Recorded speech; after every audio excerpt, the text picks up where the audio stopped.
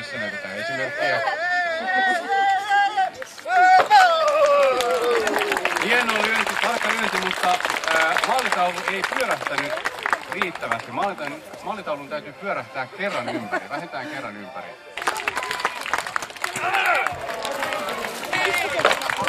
Aa, ja varsinaisesti komea lyönti. Komea lyönti.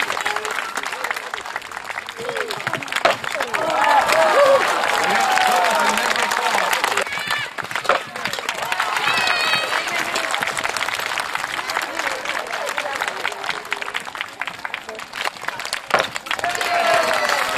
Hyvä, hieno homma.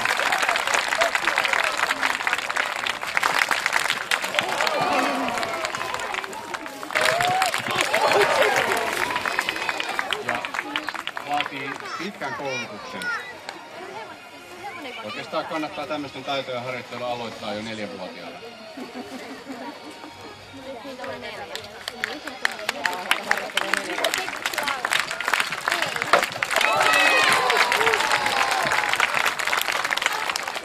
Tärkein, tärkeintä on, on taito ratsastaa ja toimia sen hevosen kanssa. Tärkeä taito taistelukentällä. Ja nyt sen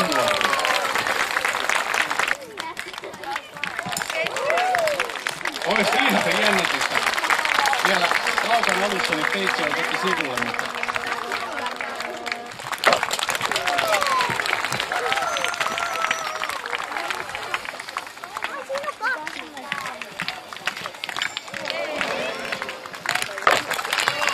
ja komea heilahdus.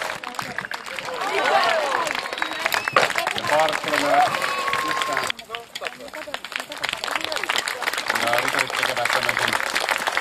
Kunniakierroksen. Olla hiljaa. Taputtaa ja hurrata. Hyvä!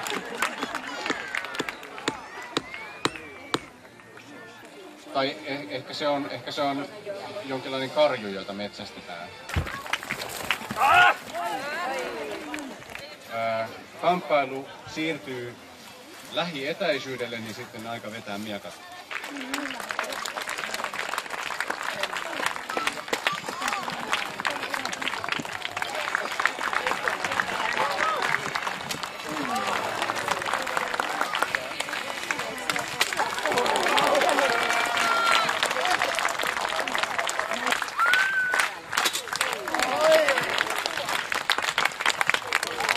Oi, se on tarkka.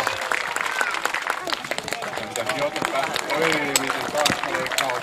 Ja mulla on meillä,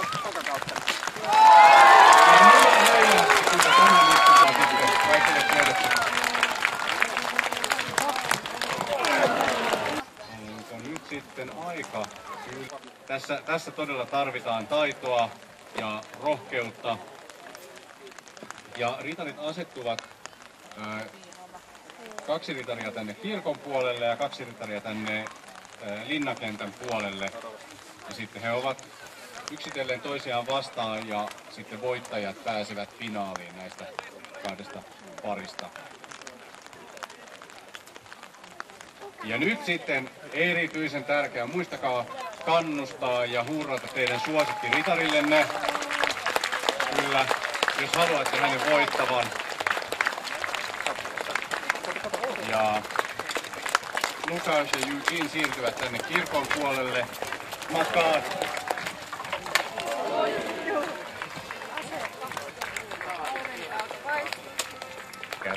Matkalla.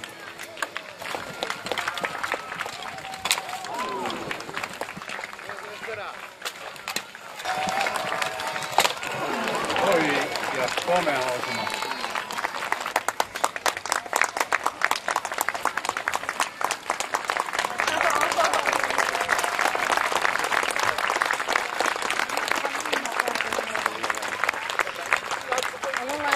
Olla edessä.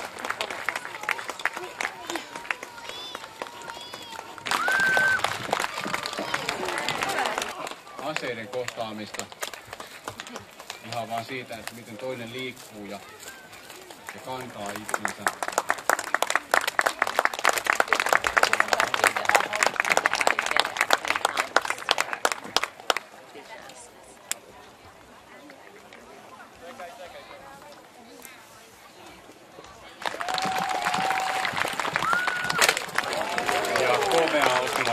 Piotrilta. Äkkiä jumpikumpi näistä.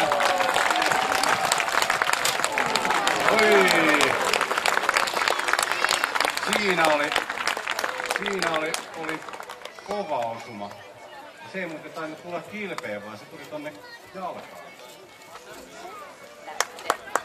Se, se pirstoitui tuohon jalkapanssariin, tai siltä ainakin näytti. Tämän takia niitä jalkapanssareita käytetään.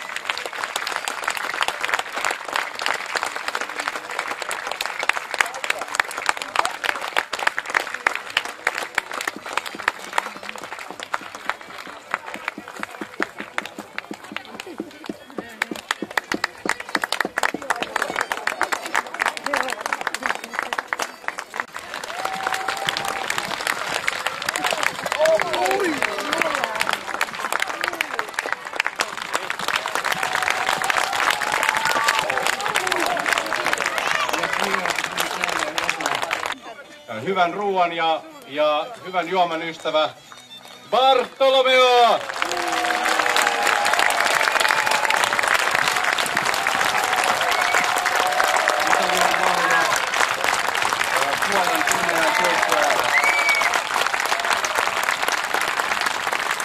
Ja hyvät ja naisten herrat, tämän esityksen teille tarjosi Herttuan seurue. Aplodit heille.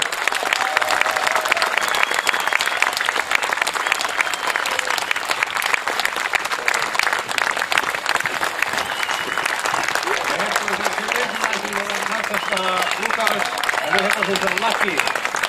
Sitten meidän voittaja Bartolomeo ja hevosensa Daytona. Sitten tulee Eugene, hevosensa Nebraska ja viimeisenä Piotras ja hänen hevosensa MyJoy.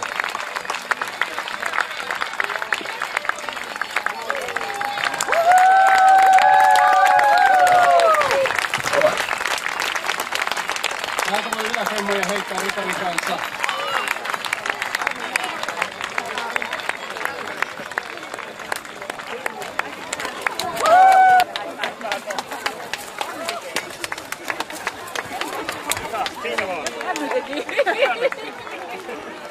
Kiitos, ai- olette, olet aivan mahtava yleisö. Kiitos aplodeista ja kiitos hurrauksesta. Tutto isingaa. Oi, rappa.